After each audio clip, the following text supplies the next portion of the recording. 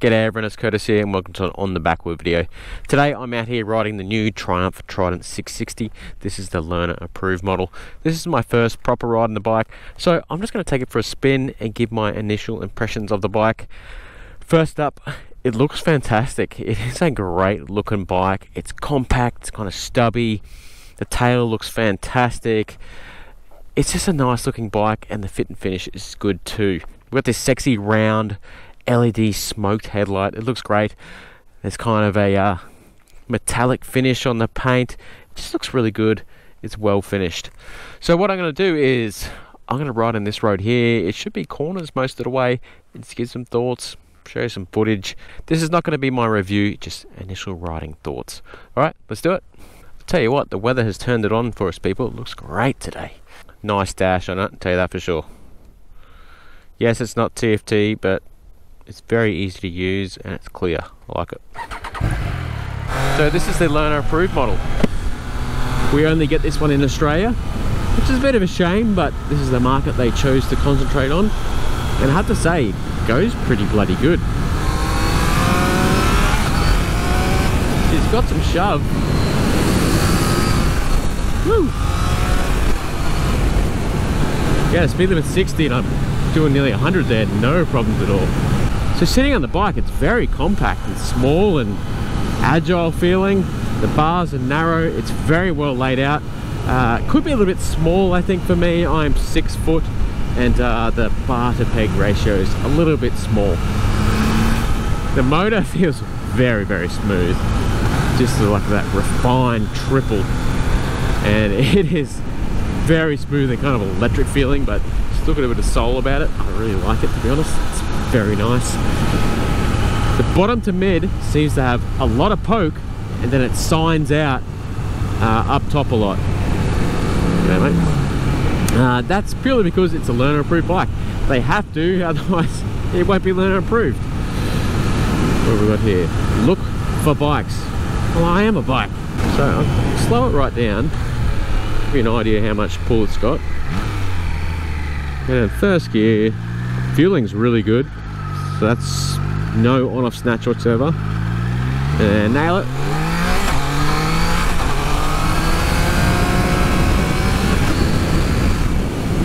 See, it's plenty quick enough. But you're better off keeping it in this mid-range here. Once you get up to 7, 8, it definitely teeters and flats, flattens off. Handling wise, very nice. It's got great tyres. It's got the Michelin Road 5s. Yeah, wheelies aren't happening. Traction control, which I presume is wheelie control. I've got to read the instructions on it. Oh, it handles like a dream. Woo! Better watch my speed. Uh, don't want to lose my license. 70. Yeah, you need to do 70. Suspension wise, it's very sporty. Uh, it doesn't like sharp bumps. Uh, I suppose that's just a limitation you're going to have with a learner approved bike where the suspension's just a little bit budget. Um, Non-adjustable Showa forks for me could be a little bit more plush initially. Alright, there's no one around. Let's test out the brakes and whoop. Pretty good. Very good actually. So the switch gear all looks to be good quality. I like the dash as I mentioned. I like how easy the menu is to scroll through. I just tap up and down, boom, boom, boom. Left and right to uh, adjust things. Gear indicator. And when you're not in this menu, gear indicator goes up to here. Very cool. Yeah, I'm liking how it handles. handles great. Got a compact little stubby bike, but it feels pretty stable still. If you are a smaller kind of guy or gal, it should fit you nicely. As I mentioned, for me it's six foot, maybe just a tiny bit small, but not too bad. Roll through here a bit quicker this way too. Yeah, that's nice. Now I'm just going to take it easy. It's the first time I've really ridden it. And I don't know this road very well to be honest. Hey, these tyres aren't too bad, hey. I'm not pushing hard at the moment, but very neutral feeling and pretty confidence inspiring It's always good to have decent tyres on a stock bike. You don't have to worry about it, just one less thing to worry about.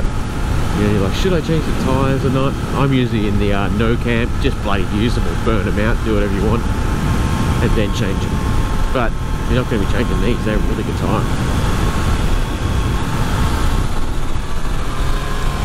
Yeah, just a little bit stiff initially, both in the front and rear. Like this is smooth, beautiful road so far, but if you hit anything, it's of like, uh, uh, uh. Oh, rocks all over the road. I forgot about that here. High crash zone. Reduce speed. No thanks. I'll keep it uh, reasonable because I don't want to lose my license. That's about it. Oh, look at that view, everyone. Woo, cracker. Ah, squidding it, nice. Hope you don't come off. A lot of bikes out today. It is a cracking day. Not many nods though. I have to say, this thing is bloody smooth and easy to ride. I don't really know these roads and feel very confident riding this bike through these turns and having no issues at all. The gearbox feels super refined, hey. It's a little bit longer throw than I would like, but it's very fine. Uh, there's a noticeable, and you're at slower speeds, I'll give you a demonstration in a bit where it kind of goes uh, uh, clunk, clunk. There's a big throw between gears and a little bit hard to master. I think if you got the optional up and down quick shifter, that'll be perfect. Right, the seat is good, but not amazing. It's definitely uh, lacking a little bit of cushion for me. My butt's getting a bit sore and I've only been riding about an hour. And I noticed it before that.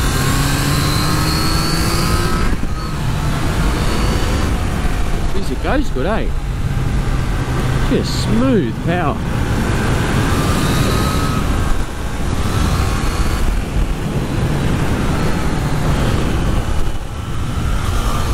Oh, suspension there, a little bit of a, a little bit that goes whoop down. This rear suspension there is very firm, a bit harsh for me. Just back on the surface, yeah, it's not liking it, it's going uh, very firm. And under harder braking stuff, doesn't dip much at all, which is fantastic. So it's a bit of a payoff with this kind of suspension.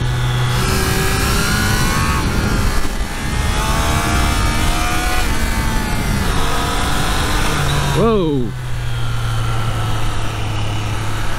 That road surface, just shit! Saw, it really pushed me across there. On that rough road surfaces, I think the suspension can't quite cope with it. It's just going sliding across the tyres, sliding across the surface of the road. You wouldn't believe it. My headphones fell off in the middle of nowhere and I found them. Hopefully I haven't been run over. Oh, they have been, but they might still work. oh dear.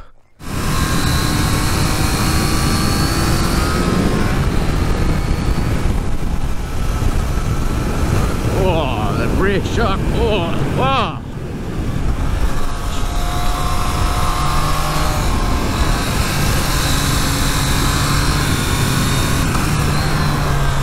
In a second.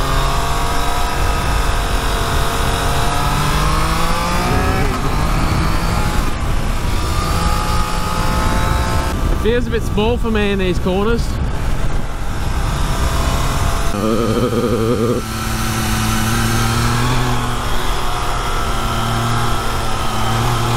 Yeah, tractor control's going nuts. A little bit hard for me to move around the cockpit. Not sure what it is yet.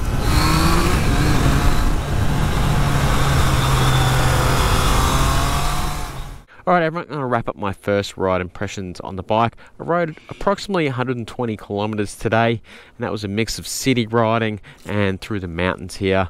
In the city it is a fantastic bike, it gets off the line great, the motor is very smooth, it's got plenty of torque and tons of mid-range then it flattens out on top.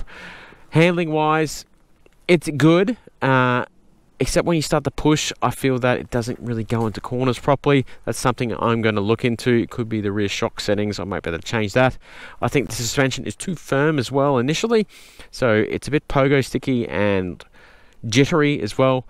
But on smooth pavement, when you're pushing hard, it's fantastic and there's not much dive at all on the brakes. The brakes themselves are fantastic. I really like them. I've got to say, it is a very easy bike to ride. Like, the motor is just so refined. It's easy to ride. As soon as you sit on it, you just feel comfortable and it's flickable in traffic. it, is a very good bike, uh, but I want to put more Ks on it. You know, I've only put about 150 kilometers on it, 160 total now. I want to put a couple hundred more Ks on it so I can get a better overall impression of the bike and uh, give a great review on it. All right, if you like what I'm doing, hit that like button and subscribe and keep it on the back wheel, people. Catches.